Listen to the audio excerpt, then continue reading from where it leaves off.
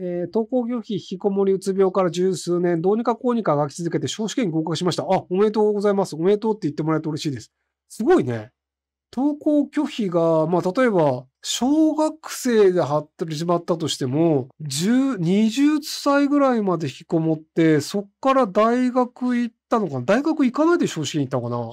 あ、でも大学行って、法科大学院だと6年かかるから、そう考えると少子圏一発か。えー、優秀っすね。うん、すごいと思います。ただ、あのね、弁護士はコミュ力必要なんですよ。なので、あの、裁判官か検察の方がいいです。